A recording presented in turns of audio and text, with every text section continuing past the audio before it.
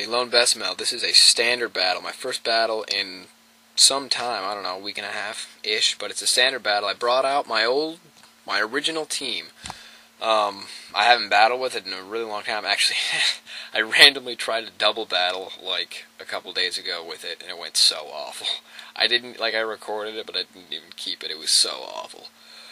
That is not a double battle team, and I am not a double battler. So, anyway, this is the battle against Very from Smogon Forums, and I'm gonna lead off with Trunks as I used to.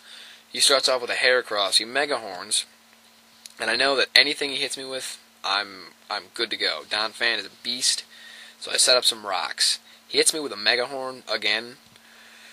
I go for an EQ. It's not to do that much damage. Um, looking back, maybe it wasn't the greatest idea, but it ends up working out. Um, switch out to Blue Marine, and he ends up close hitting me with a close combat. It does a lot of damage, but after Lefties gain, I mean it's cutting it really close, but I'm thinking I can take another one. And I do end up taking another one. I survive with just 4 HP, but it's fine with me. It doesn't you know, it doesn't matter to me. I explode and Heracross goes down. I was kind of concerned at this point. I mean, it took me a lot to stop that Heracross.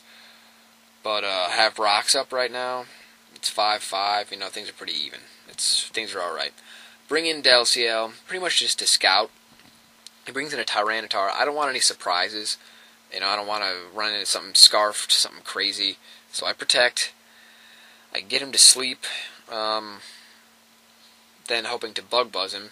Thank God it hit. The battle before this I didn't record, and I lost because of the biggest bout of hacks. I missed twice with hypnosis and then got critted like three times, all for KOs.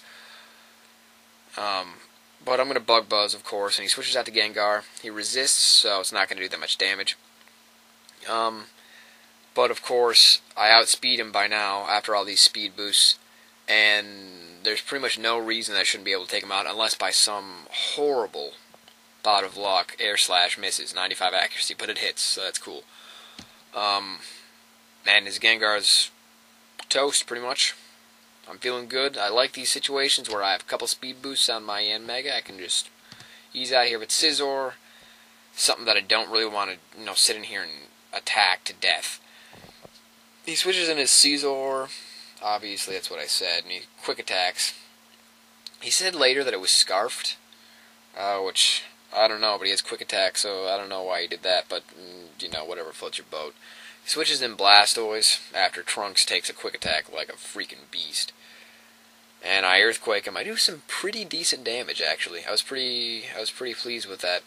But I'm going to switch out to my, I'm expecting a Surf, I'm going to switch out to my Breloom for the Resist. And at this point I was concerned, like really I only did that because he resists it. Um, it was kind of stupid. I outspeed him, so there's really no reason I shouldn't have attacked here.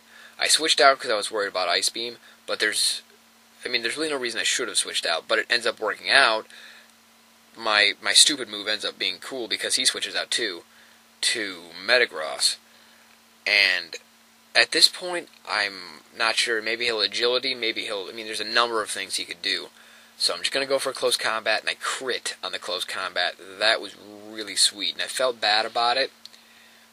I felt, you know, obviously crits are never, they piss me off, they piss everybody off. When this game becomes all about luck, it's no fun. But he brings in his Scizor again. I was thinking about switching, not going to switch, just going to go for another close combat. But he U-turns, and the U-turn crits. So, those were the two main crits um, each for KOs, so I'm thinking they canceled out. You know, um, I feel pretty good about this match overall, being a pretty fair match. Um, so my Gallade's down. That's alright with me. He brings in Blastoise, but that gives me a clean switch in to Bomba Verde, my Breloom, and I'm going to Seed Bomb, and Blastoise will be KO'd after that. So I have a pretty nice lead here. Feeling pretty comfortable. He brings in his Scizor again. Um, not going to deal with this, so I'm going to go ahead and switch out now. And go ahead and I switch out to my Togekiss Noki. Uh, he Iron Heads. I wasn't sure exactly what he was going to do, but I was fairly certain that I could deal with whatever he gave me. Um, and at this point, See, this is what doesn't make any sense. He says he was scarfed, but I outsped him right there, so. Unless he used, like, Whirlwind. Can he even learn Whirlwind? I have no idea. It's, it, it must be a really weird set, but I Flamethrower, he takes him out. Scizor's down. Now I have a Sleeping Tyranitar to take out. Aura Sphere is going to be perfect KO. Really great match, very. Um, I was pleased. It was it was a nice match to get back into the swing of things, get back into posting vids.